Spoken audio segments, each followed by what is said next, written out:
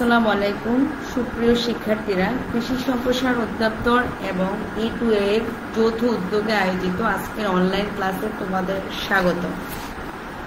কৃষি ডিপ্লোমা কোর্সের দ্বিতীয় পর্বের জীববিজ্ঞান দুইয়ের ক্লাস উপস্থাপনায় আজকে আমি আছি তোমাদের সাথে সফিনা ডাক্তার, প্রশিক্ষক, কৃষি প্রশিক্ষণ ইনস্টিটিউট হোমনা কুমিল্লা। আশা করি তোমরা সবাই ভালো আছো। করোনাকালীন এই ক্রান্তিকালীন সময়ে যে যার বাড়িতে স্বাস্থ্যবিধি মেনে অবস্থান করছ এবং নিয়মিত পড়াশোনা চালিয়ে যাচ্ছ। আমাদের এই অনলাইন ক্লাস নিশ্চয়ই তোমাদের উপকার হচ্ছে। তোমাদের যদি কোনো টপিকস বুঝতে সমস্যা হয়, তোমরা তা কমেন্টে জানাবে। আমি তোমাদের সেই সমস্যাকৃত টপিকসগুলো আলোচনা করে সমাধান করার চেষ্টা করব। আমাদের আজকের, আজকে আমি তোমাদের সাথে ইউনিট তেরো আরশোলা বা তেলাপোকা নিয়ে আলোচনা করব। প্রথমে আসো, আরশোলা সম্পর্কে আমরা একটু পরিচিত হই। আরশোলা খুব পরিচিত একটি নাম এবং কম বেশি সবাই এটার সাথে পরিচিত। আরশোলা বা তেলাপোকা আর্থপোড়া পর্বের ইনসেক্টা শ্রেণির একটি আদর্শ উদাহরণ। ইংরেজিতে একে ককরোচ বলে। শব্দটি স্পেন দেশীয় একটি বিস্বাদ ফল ইউকারাসা থেকে এসেছে। এর দেহ তেল তেলে বলে এদেরকে তেলাপোকা বলা হয়। প্রায় পঁচিশ কোটি বছর পূর্বে এ আরশোলা বা তেলাপোকার আবির্ভাব পৃথিবীতে ঘটে। দক্ষিণ এশিয়া বা আফ্রিকাকে এদের উৎপত্তিস্থল বলে ধারণা করা হয়। কিন্তু অনায়াসে যে কোনো বাহকের মাধ্যমে এরা স্থানান্তর করতে পারে বলে খুব সহজে বর্তমানে পৃথিবীর সর্বত্রই আরশোলা বিরাজমান। পৃথিবীতে প্রায় পঁয়ত্রিশশো প্রজাতির তেলাপোকা রয়েছে। নোংরা পরিবেশ থেকে বিভিন্ন মারাত্মক রোগের জীবাণু বহন করে। সর্বভোগ হওয়ায় খাদ্যদ্রব্য সহ যে কোনো জিনিস এরা খুব সহজে খেয়ে ফেলে এবং নোংরা করে অথবা কেটে টুকরো করে। আমরা এখন আরশোলা বা তেলাপোকার স্বভাব সম্পর্কে জানব। আরশোলা বা তেলাপোকার স্বভাব সম্পর্কে বলতে গেলে প্রথমে আসে তেলাপোকা একটি নিশাচর প্রাণী। যাকে আমরা ইংরেজিতে বলি নক চার্নাল দিনের বেলা এরা নিষ্ক্রিয় হয়ে কোনো জিনিসের আড়ালে বা ফাঁকে লুকিয়ে থাকে। লুকিয়ে থাকলেও এদের অ্যান্টেনা দুটি বাইরে থেকে নড়তে দেখা যায়। রাতে বেশ সক্রিয় হয়ে এরা খাবার খুঁজতে এদিক ওদিক বিচরণ করে। এরা অতি দ্রুত দৌড়াতে পারে, ডানার সাহায্যে উঠতে পারে। পঁচিশ ডিগ্রি সেলসিয়াস উষ্ণতা এরা প্রতি সেকেন্ডে সত্তর থেকে একশো তিরিশ সেন্টিমিটার পথ অতি সহজে অতিক্রম করতে পারে। এদের আরেকটি বড় বৈশিষ্ট্য হচ্ছে এরা সর্বভোগ অর্থাৎ অমনিভোরাস অমনিভোরাস হওয়ার কারণে আসলা উদ্ভিদ এবং প্রাণী উভয় ধরনের খাবারই গ্রহণ করে। বিভিন্ন খাবার থেকে শুরু করে কাগজ, কাপড়, কাঠ, এমনকি অন্য তেলাপোকার মৃতদেহ পর্যন্ত এরা আহার করে। এরা আত্মরক্ষার জন্য উদুরীয় গ্রন্থি থেকে একটি বিশ্রী গন্ধ ছড়ায়, যার মাধ্যমে খুব সহজে এরা নিজেদেরকে আত্মরক্ষার কাজে কাজে লাগায়। আসো আমরা এখন জানি আসলার বাসস্থান সম্পর্কে। তেলাপোকা সাধারণত অন্ধকার স্বেচ্ছেতে উষ্ণ এবং প্রচুর জৈব পদার্থ সমৃদ্ধ পরিবেশে পাওয়া যায়। এছাড়া এদেরকে পাওয়া যাবে রান্নাঘর, বেকারি রেস্তোরাঁ প্রভৃতি স্থানে এরা দলবদ্ধভাবে বিচরণ করে। এই ছাড়াও এদেরকে নালা, নর্দমা, ঘর, টয়লেট প্রভৃতি জায়গাতেও এদেরকে দেখা যায়। এখন আসো আমরা আরশোলার শ্রেণীবিন্যাস সম্পর্কে জানব। আরশোলার শ্রেণীবিন্যাসে আসলে প্রথমে আসি এর কিংডম। এর kingdom Animalia, phylum Arthropoda class Insecta order Dictyoptera family Blattidae genus Periplaneta এবং স্পিসিস হচ্ছে পেরিপ্ল্যানেটা আমেরিকানা বাংলাদেশে পেরিপ্ল্যানেটা আমেরিকানা ছাড়াও আরও দুটি প্রজাতি তেলাপোকা পাওয়া যায়, যাদের স্পিসিস হচ্ছে ব্লাটা ওরিয়েন্টালিস ব্লাটিলা জার্মানিকা প্রিয় শিক্ষার্থীরা, তোমরা এখন একটি পার্থক্য দেখতে পাচ্ছ, যেখানে আমরা স্পষ্ট দেখতে পাচ্ছি Periplaneta americana Blatta orientalis Blattella germanica. এই তিন প্রজাতির আরশোলা বা তেলাপোকার মধ্যে পার্থক্য। প্রথমেই আমরা আসি এর আকৃতি। প্যারিপ্ল্যানেটা আমেরিকানা অপেক্ষাকৃত লম্বা হয় ব্লাটা ওরিয়েন্টালিস, তার চেয়ে অপেক্ষাকৃত খাটো। ব্লাটেলা জার্মানিকা চেয়ে খাটো। অর্থাৎ দেখা যাচ্ছে সবচেয়ে বড় প্যারিপ্ল্যানেটা আমেরিকানা এবং সবচেয়ে ছোট প্রজাতি ব্লাটেলা জার্মানিকা। আয়তনের কথা যদি চিন্তা করি প্যারিপ্ল্যানেটা আমেরিকানা লম্বায় প্রায় আটত্রিশ মিলিমিটার ব্লাটা ওরিয়েন্টালিস লম্বায় প্রায় বত্রিশ মিলিমিটার এবং ব্লাটেলা জার্মানিকা লম্বায় প্রায় চোদ্দ মিলিমিটার। এবং পেরিপ্ল্যানেটা আমেরিকানার গায়ের যে বর্ণ, সেটি লালচে বাদামি ব্লাটা ওরিয়েন্টালিস ওরিয়েন্টালিস এর বর্ণ কালচে। ব্লাটেলা জার্মানিকার বর্ণ হালকা হলদে বাদামি। সাধারণত উর্বার ক্ষমতার উপর যদি, ক্ষমতার ভিত্তিতে আমরা যদি এদেরকে ক্যাটাগরি করি, সেক্ষেত্রে দেখব প্যারিপ্ল্যানেট আমেরিকানা, সে উর্বার ক্ষমতা রাখে। বাকি যে দুটি প্রজাতি তাদের কি উর্বার কোনো ক্ষমতা নেই। পরিণত হওয়ার সময়কাল প্যারিপ্ল্যানেট আমেরিকানা, দুশো পঁচাশি থেকে ছশো ষোলো দিন। ব্লাটা ওরিয়েন্টালিস তিনশো থেকে আটশো দিন। এবং ব্লাটেলা জার্মানিকা পঞ্চান্ন থেকে আটষট্টি দিন। নেক্সট স্লাইডে তোমরা দেখতে পাচ্ছ আসলার বাহ্যিক গঠনের একটি চিত্র, যেখানে আমরা একটি পুরুষ তেলাপোকার পৃষ্ঠ দৃশ্য এবং অঙ্কীয় দৃশ্য খুব সহজে আমাদের দৃষ্টিগোচর হচ্ছে। এখানে দেখা যাচ্ছে আরশোলা বা তেলাপোকার দেহটা সরু, লম্বাটে, দ্বিপার্শ্বীয় প্রতিসম এবং এটি লম্বা প্রায় তিন থেকে চার মিটার, চওড়া প্রায় এক সেন্টিমিটার হবে। দেহ তেলতেলে এবং অলরেডি আমরা বলে ফেলেছি যে এর গায়ের রংটা লালচে বাদামি বর্ণের হয়। এর যদি বহিকঙ্কালের কথা আমরা চিন্তা করি, এর সম্পূর্ণ দেহটি কাইটিনযুক্ত কিউটিকলে আবৃত থাকে। এটি দেহের বহিকঙ্কাল হিসেবে কাজ করে। কিউটিকলের উপরে বোমের একটি পাতলা স্তর থাকে। কিউটিকল দেহর যে খণ্ডগুলো পৃথকভাবে আবৃত করে রাখে এই খণ্ডগুলোকে, এবং একটি পাতলা পর্দার সাহায্যে পরস্পর যুক্ত থাকে, যেটাকে আমরা স্ক্লেরাইট বলে থাকি। স্ক্লেরাইটের পৃষ্ঠদেশীয় যে অংশ, সেটাকে বলব টার্গাম। বক্ষদেশীয় যে অংশ, সেটাকে বলব স্টারনাম। টার্গাম এবং স্টারনাম দুই পাশে অবস্থিত, পর্দার মতো, প্লুরু দিয়ে যুক্ত থাকে। এখানে যে তোমাদেরকে বলা হলো যে তেলাপোকার বহিকঙ্কালটা একটি কিউটিকুলের মোমের একটি পাতলা স্তর থাকে। সেই কিউটিকুল কিউটিকুলের এই তিনটি স্তর দেখা যায়। একটি অ্যাপিকিউটিকল একটি এক্সোকিউটিকল এবং তিন নাম্বারটি হচ্ছে অ্যান্ডোকিউটিকল এবং এই কিউটিকলের কাজ হচ্ছে কিউটিকলটা তেলাপোকার দেহটাকে শক্ত রাখবে, অবিকৃত রাখবে এবং দেহকে সুরক্ষা করবে, পানি সংশ্লেষ করবে, পেশি সংযোজনের জন্য উপযুক্ত একটি ক্ষেত্র তৈরি করবে।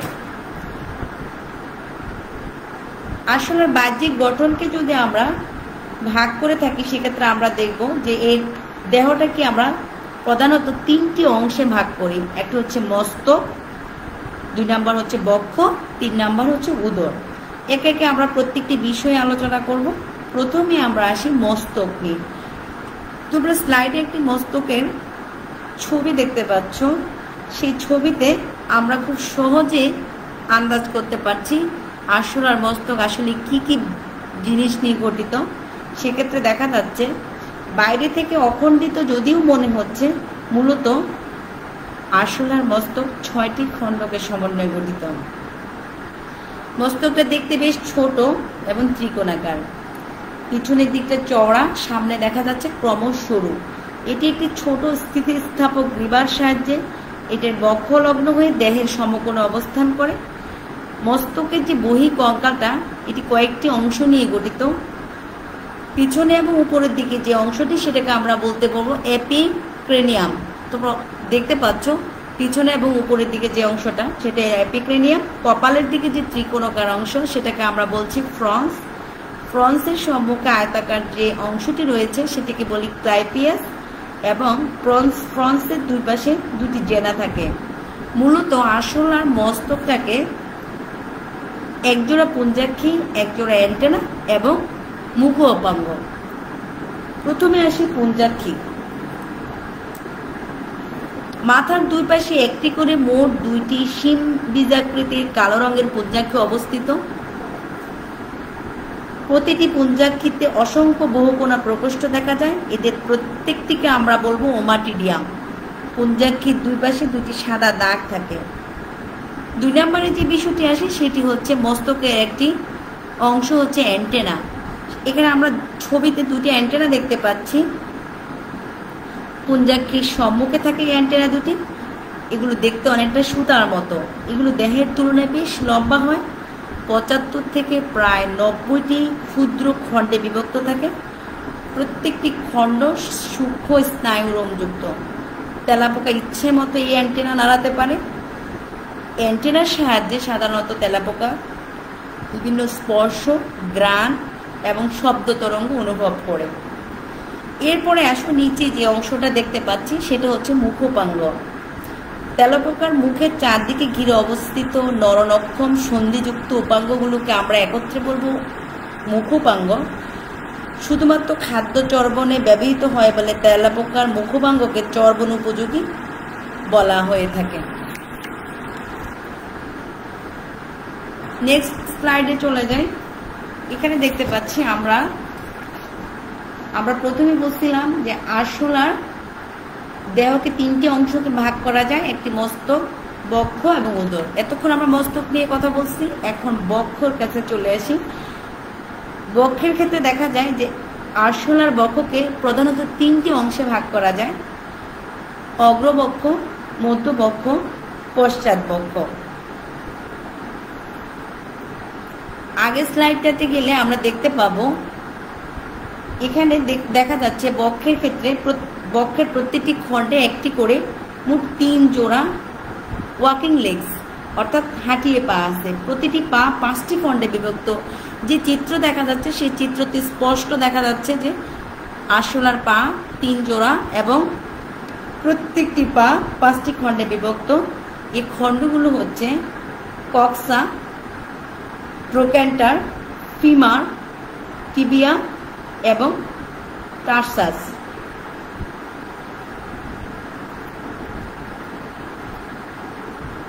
এরপরে চলে যায় আরশোলার উদর। তেলাপোকার উদর বেশ লম্বা, চওড়া বাধ্যত খণ্ডায়িত এবং দশটি খণ্ডকে বিভক্ত। শেষের দুই একটি খণ্ড ছাড়া বাকিগুলো উপাঙ্গবিহীন থাকে। এখানে আমরা দেখতে পাচ্ছি অ্যানাল সার্কি এবং অ্যানাল স্টাইল। অ্যানাল সার্কিটা হচ্ছে দশম খণ্ড, বেশ ছোট থাকে এবং এর উভয় পাশে দুইটি বহুখণ্ড বিশিষ্ট উপাঙ্গ থাকে। স্ত্রী তেলাপোকার ক্ষেত্রে এটাকে আমরা বলব অ্যানাল সার্কি আবার অপরপক্ষে পুরুষ তেলাপোকার ক্ষেত্রে নবম খণ্ডের উভয় পাশে দুটি ছোট ও সরু উপাঙ্গ থাকে, যাকে আমরা বলব অ্যানাল স্টাইল। এখন আসি আমরা পুরুষ তেলাপোকা এবং স্ত্রী তেলাপোকা। কীভাবে বুঝব কোনটি পুরুষ তেলাপোকা, কোনটি স্ত্রী তেলাপোকা? বেসিক যে পার্থক্য, পুরুষ তেলাপোকাটি অপেক্ষাকৃত লম্বা এবং সরু হবে। স্ত্রী তেলাপোকাটি অপেক্ষাকৃত খাটো এবং চওড়া হবে। উদরের ক্ষেত্রে পুরুষ তেলাপোকার উদরটি সরু এবং চাপা। স্ত্রী তেলাপোকার উদর চওড়া ও পুরু এবং পুরুষ তেলাপোকার ডানা হবে উদর অপেক্ষা বড়। স্ত্রী তেলাপোকার ক্ষেত্রে সেটা হবে না। স্টাইলের ক্ষেত্রে নবম খণ্ডকের অঙ্কিত দেশে একজন অ্যানাল স্টাইল থাকবে পুরুষ তেলাপোকার ক্ষেত্রে, কিন্তু স্ত্রী তেলাপোকার ক্ষেত্রে কোনো স্টাইল দেখা যাবে না। যদি জননরন্ধ্রের কথা বলি, পুরুষ তেলাপোকার নবম ও দশম খণ্ডের সংযোগস্থলের অঙ্কীয় দেশে পুং জনন রন্ধ্র থাকবে এবং স্ত্রী তেলাপোকার অষ্টম খণ্ডের অঙ্কীয় দেশের মাঝখানে স্ত্রী জননরন্ধ্র থাকবে। পুরুষ তেলাপোকার ক্ষেত্রে সপ্তম খণ্ডটা একটু সাধারণ আকৃতি থাকবে এবং স্ত্রী তেলাপোকার ক্ষেত্রে সপ্তম সপ্তম খণ্ডটা নৌকা আকৃতি ধারণ করে জননথলি গঠন করে। প্রিয় শিক্ষার্থী বন্ধুরা, আমরা এখন আরশোলার মুখোপাঙ্গ সম্পর্কে জানব। আরশোলার মুখোপাঙ্গের ক্ষেত্রে আমরা বলব যে মুখচিন্দ্রকে ঘিরে যে সকল উপাঙ্গ অবস্থান করে, সেগুলোকে আমরা সম্মিলিতভাবে বলব মুখোপাঙ্গ।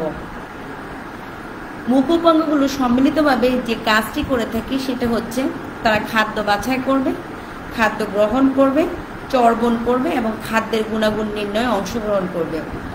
তেলাপোকার মুখোপাঙ্গকে আমরা পাঁচ ধরনের অংশ নিয়ে গঠিত।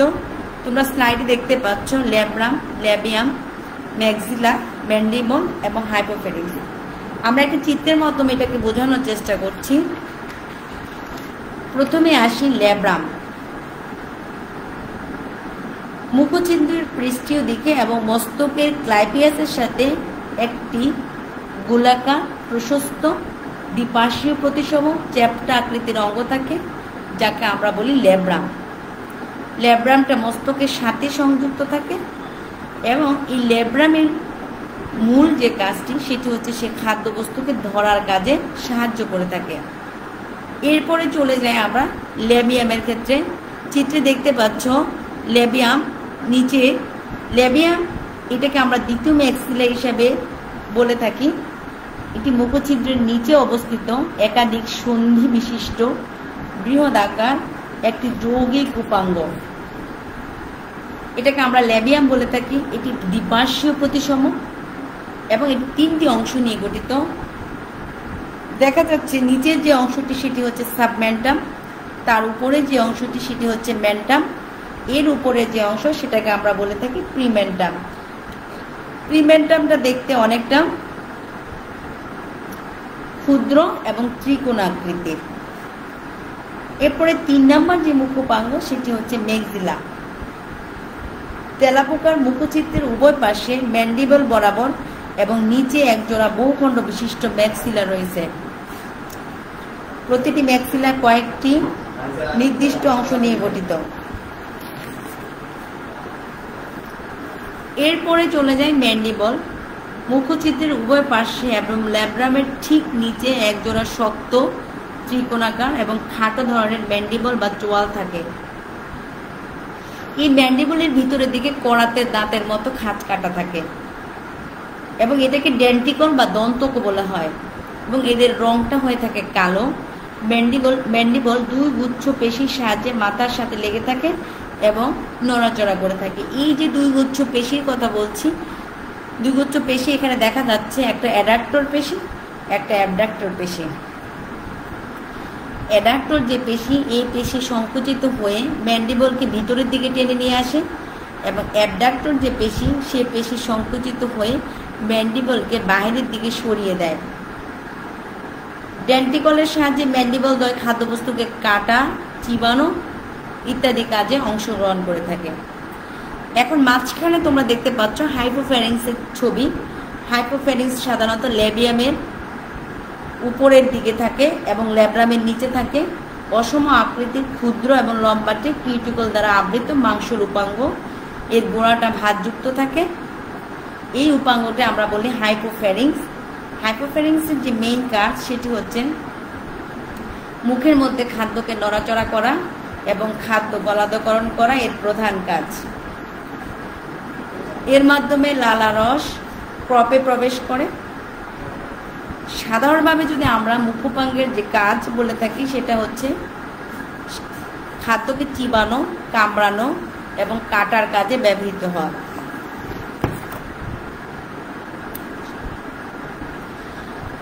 নেক্সট নেক্সট স্লাইডে চলে যাই। আসলার পরিপাকতন্ত্র। প্রথমে পরিপাকতন্ত্র নিয়ে কিছু কথা বলি। যে শারীরবৃত্তীয় প্রক্রিয়ায় প্রাণী গৃহীত জটিল খাদ্য নির্দিষ্ট উৎসেচকের উপস্থিতিতে বিশ্লেষিত হয়ে দ্রবণীয়, শোষণযোগ্য, সরল খাদ্যে পরিণত হয়। তাকে আমরা বলব পরিপাক। এবং যে তন্ত্রের সাহায্যে পরিপাক ক্রিয়া সম্পাদিত হয়, তাকে আমরা বলব পরিপাকতন্ত্র। তেলপ্রকার পরিপাকতন্ত্র সাধারণত দুটি ভাগে ভাগ করা যায়। একটি হচ্ছে পৌষ্টিক নালী এবং দুই নম্বরটি হচ্ছে লালা গ্রন্থি, যার অপর নাম হচ্ছে পুষ্টি গ্রন্থি। তোমাদেরকে যে স্লাইডটি দেখাচ্ছি, সে স্লাইডটির মধ্যে দেখা যাচ্ছে যে পৌষ্টিক নালী কতগুলো অংশ আমি দিয়ে দিয়েছি। মুখ থেকে শুরু করে পায়ু পর্যন্ত বিস্তৃত লম্বা নলের মতো যে নালীটি হিমোসিলে পেঁচানো অবস্থায় থাকে, সেটাকে আমরা বলি পৌষ্টিক নালী। এই পৌষ্টিক নালী সাধারণত তিনটি অংশ নিয়ে গঠিত। এক নম্বর হচ্ছে স্ক্রোমোডিয়াম বা অগ্রানন্ত্র দুই নাম্বার মেসেন্টেরন বা মধ্যান্ত্র, তিন নাম্বার প্রোক্টোডিয়াম বা পশ্চাদান্ত্র। এখানে স্টোমিডিয়ামের ক্ষেত্রে দেখা যাচ্ছে, স্টোমিডিয়ামটা সাধারণত মুখ থেকে শুরু করে গিজার্ড পর্যন্ত বিস্তৃত। মুখ, স্টোমিডিয়ামের যে অংশগুলো, এক হচ্ছে মুখছিদ্র, মুখবিবর, গলবিল, অন্ননালী, ক্রপ এবং গিজার্ড। এক একেই বর্ণনা করার চেষ্টা করব। প্রথমে আসো স্টোমোডিয়াম। আমরা একটা ছবি দেখতে পাচ্ছি। সে ছবিতে দেখা যাচ্ছে যে প্রথমে আসি মুখছিদ্র। এটি পোস্টিটালি সরাপেক্ষা সামনের ছিদ্রপথ। এবং এর মাধ্যমে যে তেলাপোকা যে খাদ্যটি গ্রহণ করবে, এটা পৌষ্টিক মুখছিদ্রের মাধ্যমে সেটি মুখ বিবরে গিয়ে প্রবেশ করবে। এরপর আসি মুখ বিবর। এটি মুখ পরবর্তী এবং মুখপাঙ্গে বেষ্টিত একটি ছোট গহ্বর। এর তলদেশে অবস্থিত উপজীবার নিচে লালা গ্রন্থি নালী উন্মুক্ত থাকে। তিন নম্বর অংশটি হচ্ছে গলবিল। ছবিতে দেখা যাচ্ছে, এটি মুখ বিবরের পিছনে অবস্থিত ক্ষুদ্র এবং পেশল নালী বিশেষ। এর মাধ্যমে খাবার অন্য নালীর দিকে ধাবিত হয়। গলবিলের ঠিক পরবর্তী যে অংশটি সেটাকে আমরা বলব অন্ন নালী এই অন্ননালী উদর পর্যন্ত বিস্তৃত থাকে সোজা এবং সরু নলের মতো, পাতলা প্রাচীর বিশিষ্ট, এর মাধ্যমে খাদ্য ক্রপে প্রবেশ করে।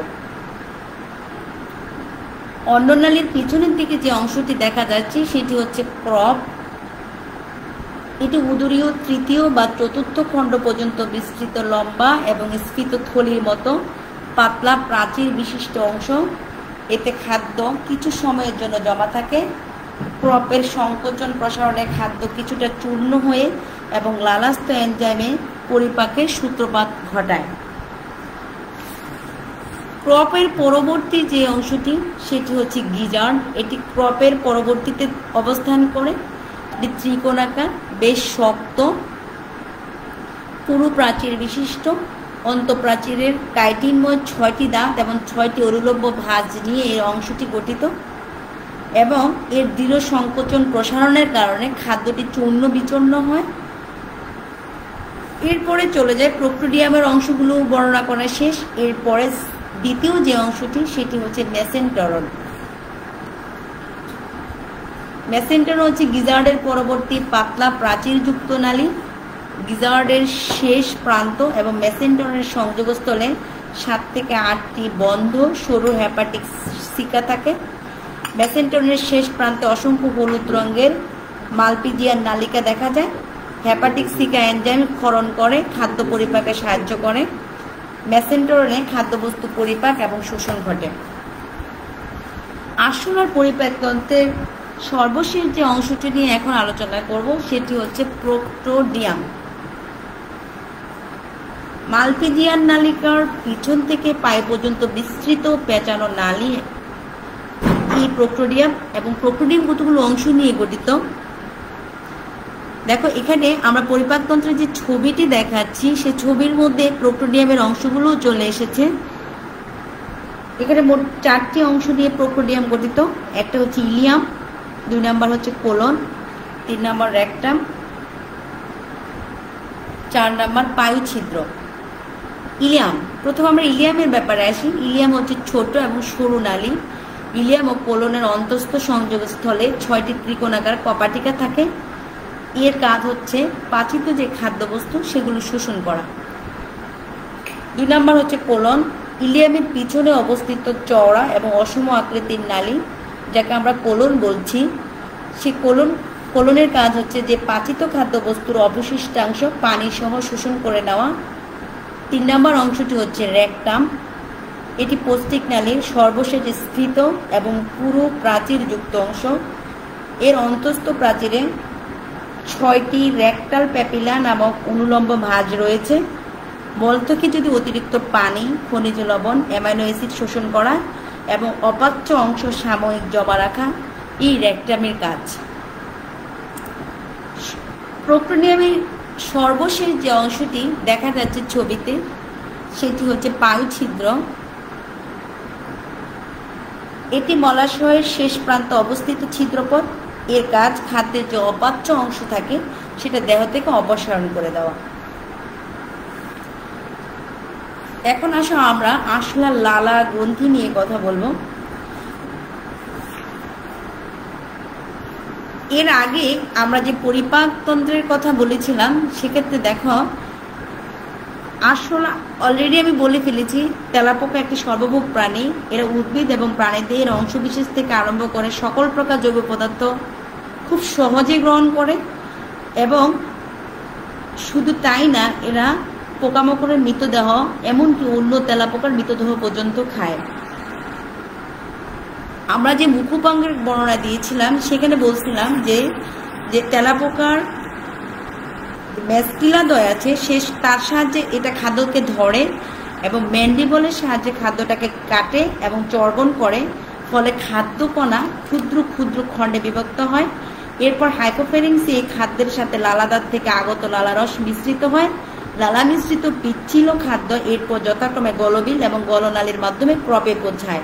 ক্রপের গহ্বরে খাদ্যের পরিপাক শুরু হয় এবং ম্যাক্সিলারি পাল্প এবং লেবিয়াল পাল্প খাদ্য নির্বাচনে এক্ষেত্রে সহায়তা করে থাকেন এখন আসে আমরা আসলে লালা গ্রন্থি নিয়ে আলোচনা করি। হাইপোফেরিংসির ঠিক নিচে বক্ষ গহ্বরের দুই পাশে পটকার নেয় লালাধার সহ একজোড়া সাদাটে পাতার ন্যায় গ্রন্থিকে আমরা লালা গ্রন্থি বলি। চিত্রের মধ্যে দেখতে পাচ্ছ বেলুনের মতো যে অংশটি। সেটাকে আমরা বলব লালাধার প্রথমে বলি যে লালা লালা গ্রন্থি বক্ষগহ্বরের পৌষ্টিক নালীর প্রপের দুই পাশে অবস্থান করে। এই লালা গ্রন্থিকে তেলাপোকার পুষ্টি গ্রন্থি বলা হয়ে থাকে। এটি প্রধানত দুটি অংশ নিয়ে গঠিত। একটি হচ্ছে লালা ধার এবং আরেকটি হচ্ছে লালা গ্রন্থি। লালা গ্রন্থিকে ডান এবং বাম লালা গ্রন্থি এই দুইটি অংশে ভাগ ভাগ করা যায়। তোমরা দেখতে পাচ্ছ ছবিতে দুটি অংশে ভাগ করা হয়েছে। এরা যথাক্রমে ক্রপের ডান এবং বাম দিকে অবস্থান করে। প্রতি পাশে লালা গ্রন্থি আবার দুটি খণ্ডাংশে বিভক্ত।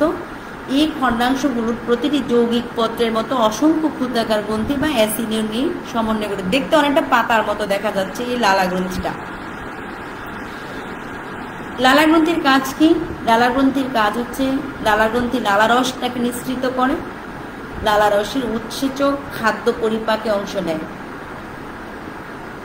লালা গ্রন্থির আমরা দুটি অংশের মধ্যে লালা গ্রন্থির কথা বলেছি। এখন আসুন লালাধার নিয়ে কথা বলি।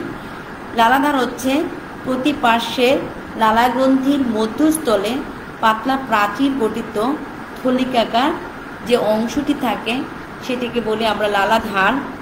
বাম ও ডান পার্শ্বের লালাদার থেকে যথাক্রমে বাম ও ডান লালাধার নালী উৎপন্ন হয়।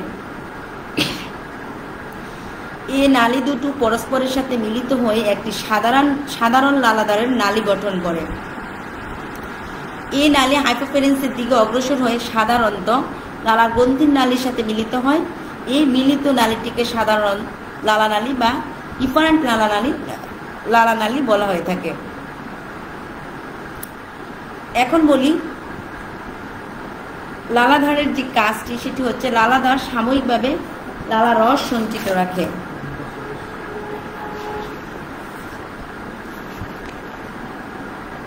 এতক্ষণ আমরা আরশোলা বা তেলাপোকা অধ্যায় নিয়ে আলোচনা করলাম। মোটামুটি আমরা শেষ পর্যায়ে চলে এসেছি। তোমরা, তোমাদেরকে এখন ধন্যবাদ জানিয়ে আমি আমার আজকের ক্লাস শেষ করলাম। শেষ করলাম। সবাই ভালো থাকবে এবং নিয়মিত পড়াশোনা করবে আসসালামু আলাইকুম।